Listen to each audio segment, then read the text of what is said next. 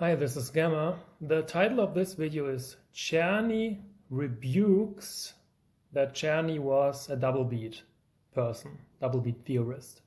What I want to do in this video is show you hard facts. I will not talk about who I am, what I study, what I do or whatever. I will just show you the original text from Czerny where it is about vom Gebrauch des Melzen, uh, Melzischen Metronoms here what I just will say is that I'm German. I can understand this text. In fact, I read this whole book, and to get and the language is very similar to how we talk today. It's very understandable. There are some old words, but it's a very clear, very clear text and a proof that Czerny wrote in single beat at least at that time when he wrote this book. I will not say that maybe he wrote pieces for double beat, I don't know, but I will say that everything in this book here makes sense to be understood as single beat. So let's start. Here he explains how the metronome works. And let's now jump here down to um, this text here when he says, so if we have crotchet 112, so rückt man das metallene an der vordern mit Einschnitten versehenen Stange angebrachte Dreieck genau auf jenen Einschnitt, der mit der rückwärts befindlichen Zahl 112 in einer Linie steht, lässt die Stange freischlagen und spielt jede Viertelnote genau nach den hörbaren Schlägen des Metronoms. So you can check that out on imslp.org. There is a English version and I will do a translation on my own and I honestly don't care if you think that I make mistakes because I'm German. I was born in Germany and I can translate that very nicely. And what this says is that if it's 112, then you want to let this rod uh, move, and then you play every quarter note according to the hits. Here is a plural to the hits you hear from the metronome. So I saw this video from this one channel, which probably everybody knows, which proposes double beat theory. And then it was said, oh, here is a plural. So this means that two hits are one, you know, um, are one 112 to be understood. So, so you have it. But and then it was said, okay, it doesn't make sense grammatically if it, it if it really means that this is like, you know, a plural thing where it's a general construction and you actually meant to each schlag, to each hit. Well, okay, I mean, that's not 100% clear. We cannot say for sure what the truth is. So let's go on. Let's go on. That's what didn't happen in this video. In this video here, it was over. But what I want to do now is present you hard facts.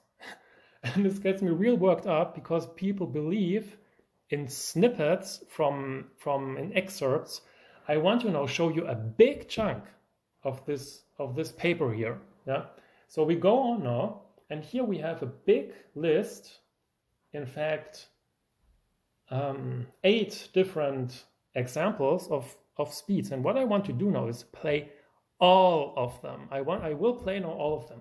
So if you know my channel, you know I'm I'm I'm I'm, I'm a mathematician. I'm not a, a, professional musician. I'm an amateur.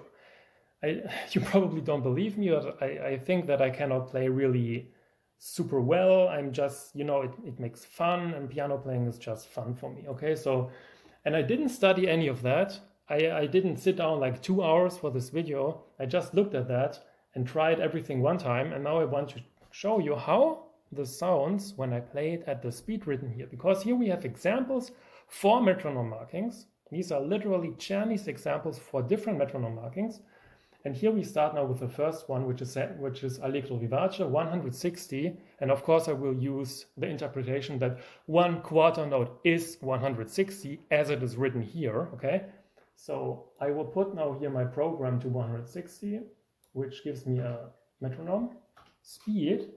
And then I want to play this first uh, snippet here. So that's here the ticks.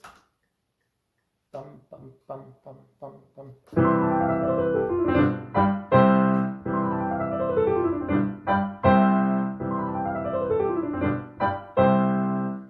It's pretty quick. It's pretty quick, but it's allegro vivace. It's allegro and even a bit more, okay? So this is uh, allegro vivace. It's perfectly playable, it's no problem at all. Good, so let's go to the second one. This is molto allegro. This is now really quick, so this is 100 per half note.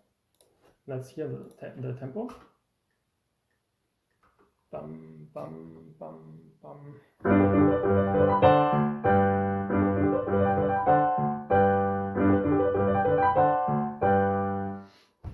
Okay, this is also very quick. This is really fast, but this is molto allegro. This is even quicker than the first one, and it's still perfectly playable. It's no problem at all. Maybe we don't like it. Maybe we think it sounds stupid. Maybe we think it doesn't sound good, but it's playable. It represents a molto allegro. That's all I want to say here. And even if you say, oh, this is that doesn't make sense, I'm literally just playing what's written here. Okay, that's what I'm doing right now.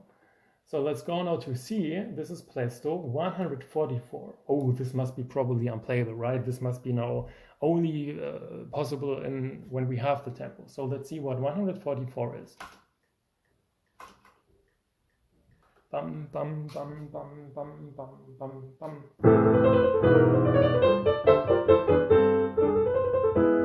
Again.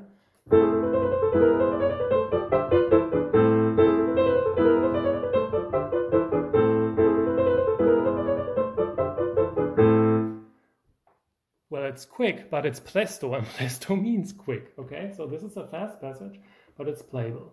Now let's go to the next one, which is Allegro Tempo di Valse uh, 88. Let's put it here to 88 or 87, whatever. This is now dotted half note, dotted half note for 88. Bum, bum, bum, bum.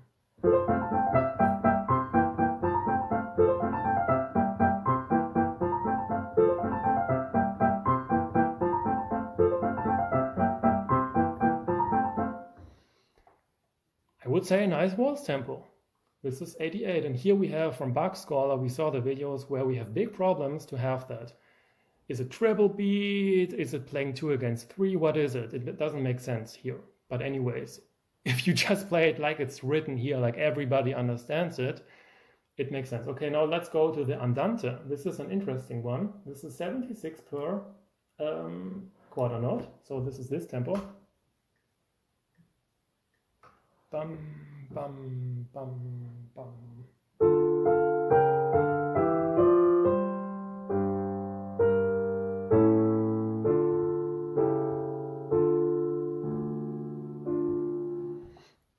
Honestly, that's a bit slow. That's almost a bit too slow in the single beat. But anyways, that's andante. That's a nice, you know, like somebody going. My piano teacher used to say andante is when you can go to it okay? And here you can even go to it. It's perfectly an andante. It's a perfect andante okay?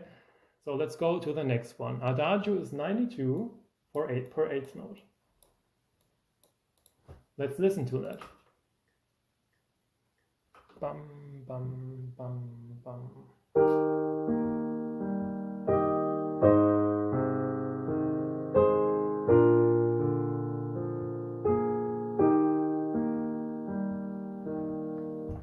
perfect. It sounds very nice. It's like Beethoven. It's a slow movement. That's an adagio. So let's go to the next one.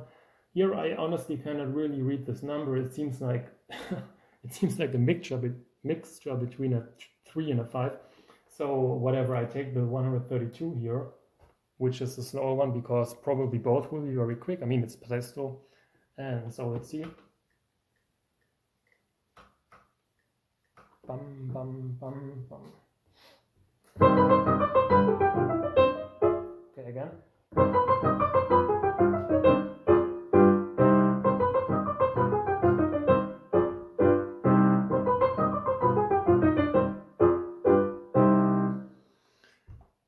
Playable. I think even in 152 it's playable. But um, we have something which is even quicker, so whatever. Let's jump to the last one, which is Prestissimo. And by the way, Czerny explains what Prestissimo means because people refuted my definition. My definition was, as I knew, it's as fast as possible. Czerny literally writes prestissimo means as fast as possible. So that's what Czerny understood for prestissimo. Now let's sound what prestissimo sounds like for Czerny. Bum, bum, bum, bum.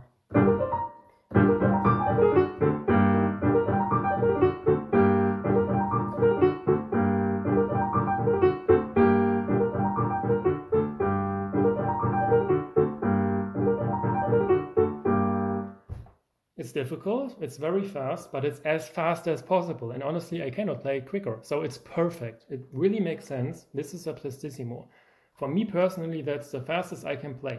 I am not Yuja Wang, I'm not Valentina Lisitsa, I'm not whatever. I'm just some amateur who sees, studies, etudes, etudes where you have to study them to, to be able to play them at high speed, where you don't just sit down and play everything at first sight.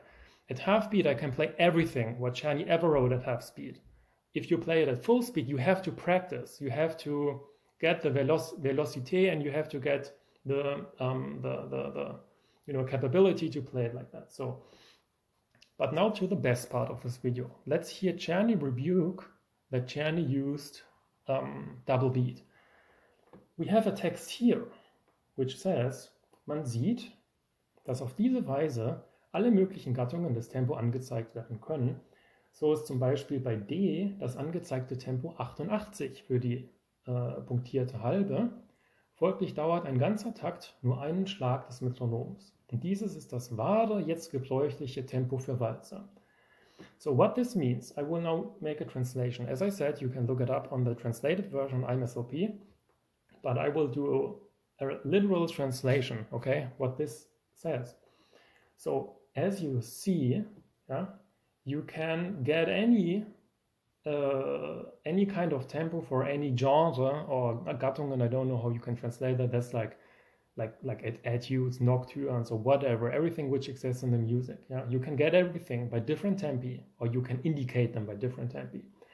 So in D, for example, the written tempo is dotted half note 88. This means that one measure lasts one hit of the metronome. And that's the true now used tempo for a waltz. Did you get that? In D, D is the waltz example, which was this problematic one. The problematic one where a dot and half note is 88. The whole measure is 88 when we understand it normally, like normal people, okay? 88 for this measure is when we just look at it. Now, Czerny apparently was had your prophecy and knew that this whole issue would come up, this, this crazy issue. And so what he says here, okay, hey, you know what? Look at the, the tempo written there. It's dotted half note 88. So one measure less one hit of the metronome. Do you notice something? Einen Schlag. This is a singular. This is one noise. Schlag is hit is like a noise. You cannot you cannot inter interpret this any way else, in some in any other way. It's impossible. It's it, one hit, ein Schlag, is the noise the metronome uh, does. It's it's like hitting somebody, you know, like the noise. This is der Schlag here. So ein ganzer Takt dauert nur ein Schlag des Metronoms. And this here, right here, shows that one measure yeah? One measure is one hit of the metronome. There is there is absolutely absolutely no possibility there is no way to misinterpret this to get this wrong to to make a theory out of this. This here do you hear me? This here right here shows in this whole opus 500 that there is no chance except Czerny at some point maybe i overread it would write hey you know what? We use double beat here or whatever. There is no way how you uh, look at it to inter interpret this in any other way. Because if we are a normal person and look at this, then we say, and if we don't know that there are in, so to speak, yeah, uh, not playable speeds or whatever, then we see this, ah, okay, 88 is one measure, yeah, uh, 3 over 4, so dotted, dotted half note is 88, so one, one, you know, one measure is 88. Okay, so I want to play one measure 88. This is one hit in my metronome. Okay, this is what is written here by Czerny to explain it for us. Czerny says here, hey, 88 is a dotted half note, and this is one hit of the metronome. Now, the whole video I saw from this channel was about, oh, it's Schläge, it's a plural here, so we cannot say anything. Here, let's see where it was. 112 per Quarter Note. Man lässt die Stange freischlagen und spielt jede Feldnote genau auf den hörbaren Schlägen. Ooh, that's a plural, so it's two, right? That's impossible to um, to see a single beat because the grammar is wrong here. But if you look at this one here, if you go a bit down, what's not happening in this video, which is like, I don't know, 15, 20 minutes long. The videos are 20 minutes long and you don't go down and play actually what's written here, okay? If you play that, then you see that one measure is one hit of the metronome. There is absolutely no way. You, you, you must be like a devil. Yeah, you must say like sweet or sour, or, or that, that that positive is negative to interpret this wrong.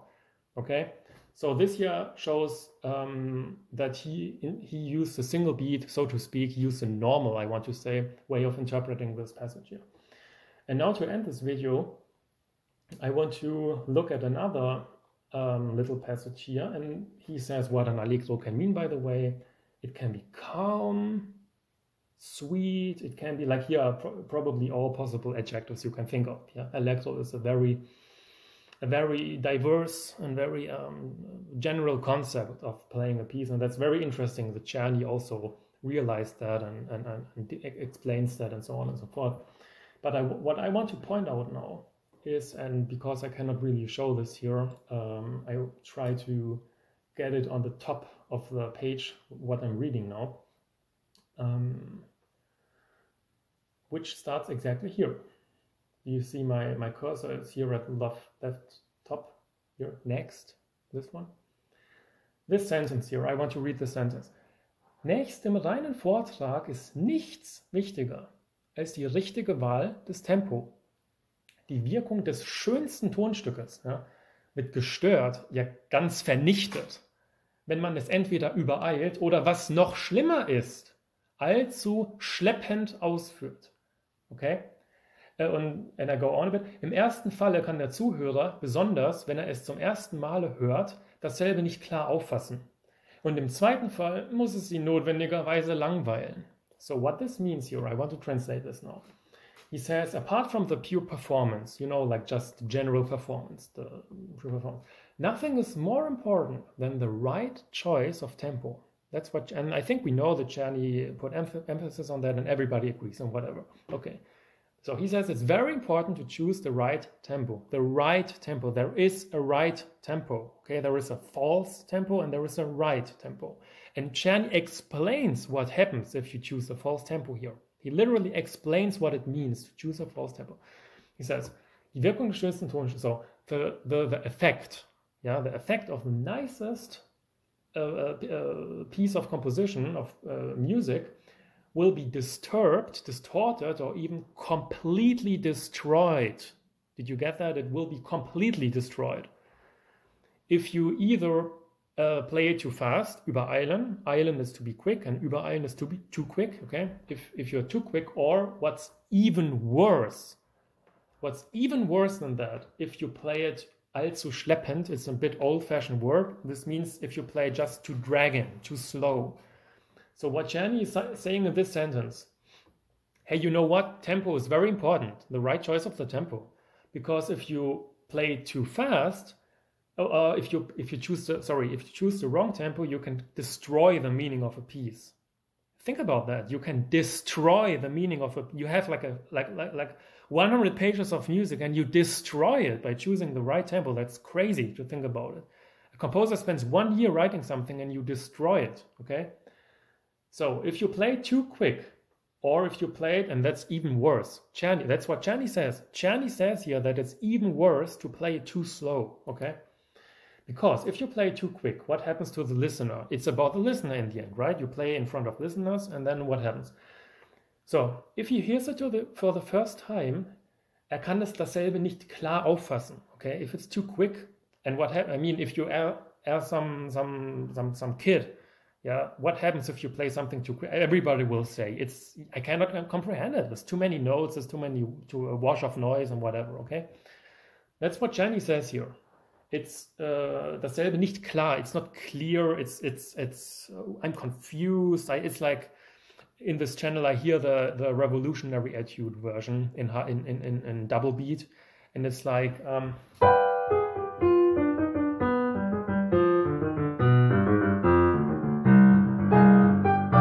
you know, And it's like, oh, we have to play double beat because then the the the the, the syncopations and the, the accents are really hearable because if you play it normal, then then uh, every you cannot understand anything, right?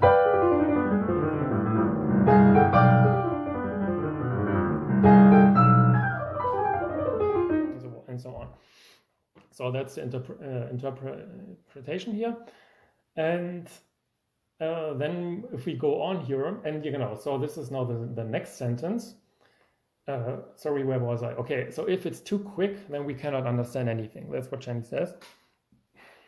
But if we are too slow, and now that's funny because you know what? For Czerny, it's so bad. It's so worse. The worst thing you can do. He says it's it's even even even more fatal and even worse, and it destroys. Ganz vernichtet. The word is written here. Do you see that word? Vernichtet. It's to completely destroy something to the ground. And he says it's even worse if you play too slow. What happens then? And for that, Czerny has nothing. Czerny has nothing left than pure sarcasm because it's so bad. What he says is, you know what happens when you play too slow? In the second case, it has to just bore him to death. It's just boring to the listener. Do you hear me? That's what Czerny says. He says in the second case, muss es sie notwendigerweise langweilen. It's like a it's like a physical law that it that the listener is is is um, bored to death. That's what Czerny says here. Okay. So and then he may he goes on about that with if you have a piece which is 10 minutes and then uh, and then you played 15 minutes, well, it will be too long it's, uh, es wird folglich viel zu lang. That's not difficult to understand, okay? So if you have 10 minutes and you play 15, if everybody plays 10, höchstens 10 Minuten. Und wenn dieses Tonstück vom Spieler nun ein Drittel langsamer vorgetragen wird, a third uh, part uh, um, uh, slower, then you have 15 minutes. Das ist einfach viel zu lang, it's a lot too slow. But this happens a lot with um, um, brilliant, uh, publicly uh, played compositions when you play them um, in this fashion, even if you played them brav, brav is not brave, it's a false friend. Brav means um, you're brav is just somebody who's very who sits down when everybody eats and, and knows what to do and what to talk and is just a brav, a braves Kind, you know, like a, a, good child, just a good child. That's how you can think about it. Uh, but ihre Wirkung völlig verfehlen. You are completely beneath the point. Yeah, you don't get it. You absolutely don't get it. Is what Jenny says here. Okay. Listen what Jenny says. Wer noch nicht imstande ist, ein solches Tonstück im gehörigen Zeitmaße vor Zuhörern vorzutragen, der soll anstatt demselben ein leichteres wählen. Do you know what this means? This says, hey, if you are not able to play a composition in the right tempo in front of other people on YouTube, okay? If you're not able to do that, then choose an easier one. That's what Czerny says here. If you are not able to play it in the right tempo, which I explained before, then you have to choose an easier piece, and that's not bad. He, Czerny doesn't write "you're a complete idiot" or "you're you're so bad." He just says, "Hey, don't don't make don't bore us with our with your with your playing." That's literally what Czerny says here. I mean, how this is so clear. It's it's so crystal clear. Czerny writes here that if that people like like like little children or something, you know, they play it super slow, but they are very brav. They are very nicely dressed and they they they bow down and it's very nice. But if, if they take 15 minutes, then it's too slow, then the effect is gone. Ihre Wirkung völlig verfehlen. It's not only Wirkung verfehlen, not only the effect is gone, it's completely gone. Okay? There is nothing left. That's what he says here. So, and um, the quicker a composition to be is to be played, the more the player has to uh, play nice and easy. Leicht can also be translated like you know like um, just a light touch. Ähm, durch mühelose Überwindung der Schwierigkeiten und durch zarte und deutliche Geläufigkeit verständlich zu machen suchen, was immer möglich ist, wenn seine Fertigkeit hinreichend ausgebildet ist und das Tonstück gehörig eingeübt worden ist. So what this means is What this means is if if you want to play a quick piece like the Prestissimo we saw before, how do you do that? Well, of course you have to to practice a lot, but what he says here is you have to have a beautiful touch, a beautiful you have to play it beautifully and you have to have a light light touch, leichter Vortrag is a general thing. It's like just a light performance. It's like it's very it's a light performance, whatever this means to really to go over this the difficulties yeah what she says here. And by a delicate and a clear geläufigkeit like school of velocity yeah is Schule der Geläufigkeit yeah the velocity here um, you have to to make understand the people who listen to you uh, that your Fertigkeit is ausreichend ausgebildet so that your uh, capability as a player is um, good enough to be able to play it. And then, of course, he says it. Uh, he says it here that you have practiced it enough. I mean, that's pretty clear, no, of course. So that's the last point here because it's so clear. And then the last point I want to make, I think this should have been the last point, but um, I saw something else, which I want to close this uh, video on. And the, the last thing is, he talks about difficulties when playing when, when playing difficult pieces. Isn't that interesting? Czerny talks about playing difficult pieces. Like we say, oh, Czerny has, he wrote 1,000 million pieces which are too, which nobody can play on single beat because it's impossible to play and it sounds shit and blah, blah, blah. So, okay, let's see what Czerny says about playing difficult compositions here, okay? Schwierigkeiten sind nicht der Zweck der Kunst, sondern nur ein Mittel, aber ein notwendiges Mittel. Okay, so, so difficulties are not the um, like aim of art or the, the main aim, but they are just a middle, a device. They're a, a way, basically. Okay, but they're a necessary way, is what he says here. And blah blah blah, and then he goes on and on. Very interesting. So, but I don't I have no time now to read everything. But what he says, there is one Hauptregel, and I read this whole book, and he has some Hauptregeln which he prints big. So these are now rules which are very important. Yeah, these are now the main rules, the main important rules. Listen to this main important rule from Czerny. This here, where my mouse is, do you see that on the top? Jede Schwierigkeit klingt erst dann schön, wenn sie für den Spieler keine Schwierigkeit mehr ist. Czerny says here, every difficulty will start to sound nice at that point when it is no difficulty anymore for the player. Okay? So that's one of the key aspects which a lot of people miss, I think, when you have a slow performance and then you speed it up. Because when you have a slow performance and speed it up, it is not the same as interpreting a difficult work according to this whole big paragraph here written by Czerny himself.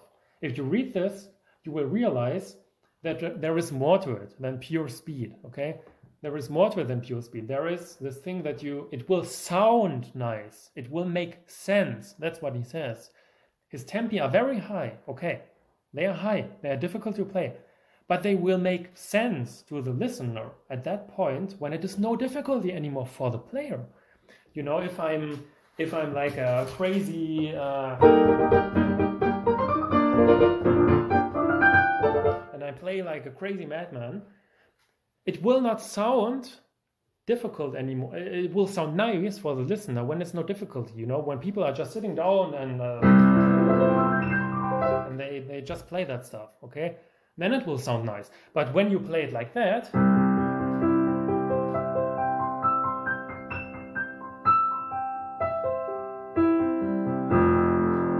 By the way, did you notice the accents? Oh, finally, I could hear the accents now this was really very important to do it that way. If you play it like that and speed it up, you get a MIDI recording. And that's what Czerny, at another point, I read the whole book, at another point he says, it's a bit funny, if you have no dynamics, uh, like if you don't have any piano and forte, hypothetically, then you would have a recording which sounds so terrible because it sounds like a machine and whatever. I mean, he, there were no computers back then. There were no MIDI recordings, but MIDI recordings are exactly that. Okay, so you can have a recording with no dynamic differences, and that's what he says is ugly. What he says is ugly when you play like a fortissimo. You couldn't hear this probably right, in such a way that it's the piano's shouting, and the piano is like is is um, is making noise, is what he says. That's ugly. He says even in the loudest fortissimo, you don't want to do that, and probably that's why people then uh, took the three the the molto fortissimo, whatever it's called, fortissimo or whatever, you know, like the three Fs, which is um, surpassing the. But he says never do that. Even in pianissimo, if you play the the, the, the quietest pianissimo, you should never play it so quiet that we cannot understand what you're doing. So no, there is no impressionism here, okay? That's another time. But if you play something very slow and then speed it up, you jumble around and, and destroy a lot of parameters which make up the music to hurt this rule and then it sounds and then, then it sounds ridiculous okay and then and then people even go crazier with that and that's now really the last point i want to make they take a recording where you have like I don't know, like Opus 299 first piece, which is in C major. I don't know the piece, but it's something like something like that. Okay, you know. And then you have a super high tempo. Okay, whatever. It's a very high tempo, and um, even Lang Lang didn't play it. Okay, that's uh, something where one has to investigate what's happening there. Okay, I'm talking about Opus 500 here. I'm talking about something else. I'm talking about Czerny in this book. But now you say, hey, if I calculate that out, it's like 60 notes per second. It's 60 notes per second to be played. And then you have another piece, yeah, and then you uh, take, for example, the Della, um, Elie Delaborde, which is on both hands. And then you say, oh, he demands in this piece even 23 notes per second or whatever. And then you take the, chan- the, the Czerny piece and speed it up on the computer to have the same number of notes. Okay, let me start now with a metaphor. If I say to you, this sauce is very hot, and, and I say to you, it has 300,000 Scoville, Scoville is the measurement, how hot will it be? Well, you know what? It depends on how much of that stuff is in there. If it's only one drop in the whole big, you know, uh, chili con carne, then it will be not very hot. But if it, if there is one liter of it uh, of it in it, then that's bad. And that's because Scoville is a measurement, an old measurement, as far as I know, how many drops of uh, um, of water you need to neutralize one drop of that stuff. Okay, so you're completely missing the point of a quantity. Now, if you say, "Oh, I can play 60 notes," but do you know what? I can play I will now play to you 70 notes per second. 70 notes per not 17, 70. Listen to that. Okay, I pushed my forearms on the piano. It sounded very bad, it was very ugly, but I played 70 notes per second or maybe more. I don't know how much. I can I, I could probably play 200 or so. Okay, or, or 300 notes per second. So I hope you get my point. If you have a melody in the right hand which is unisono, which is only only the right hand alone. How can you even compare that number, yeah, the, the, the notes per second, to something where I play this? Where in the left hand I have chords. Now, if I play chords like that,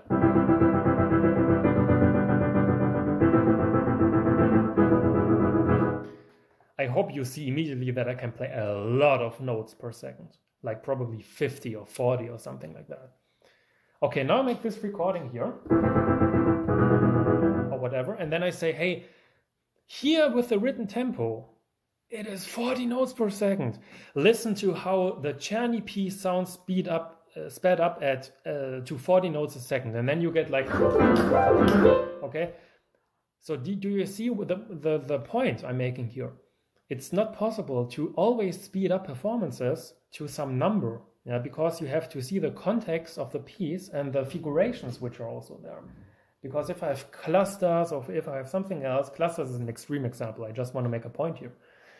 But um, you have to see that to understand that you cannot just speed up a performance, okay? Now, to sum up this video, we saw that um, this is known, this is very known that Czerny talks about the metronome here, but he also talks about um, how to use it, and there is a bit ambiguity here. But then he has a lot of examples, which I played all. I played all examples today. Okay, I played them exactly at the speed. We realized that they are all perfectly fitting. Maybe we don't like it. Maybe we say, "Wow, the adagio sounded so Beethoven. I had tears in my eyes." But the Molto Allegro, that was crazy. That was nonsense. But you know what? I don't care. In the end, it's it's not important if you think it's right or wrong. It's what Czerny writes here, and he's not a god, and I absolutely believe that he's he's a human being, and there are errors and so on. But if we take this page here, if we take what we see here, then we get a feeling for what Czerny thought. Okay, or let's put it this way. So you know what I'm doing now. I take the adagio and I make I make the double beat. Hey, it's double beat actually. I was wrong all the time, by the way. So this is double beat. Okay, this is now difficult for me. so let's see. Bum bum bum.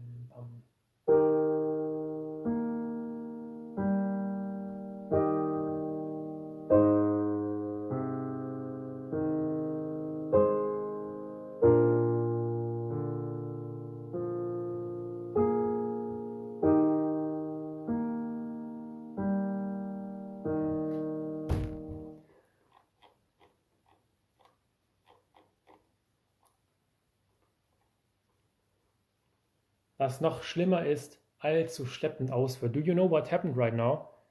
Czerny stood up and said, This is boring me to death. Czerny just stood up and said, This is boring me to death. Now put that in your pipe and smoke it. See you.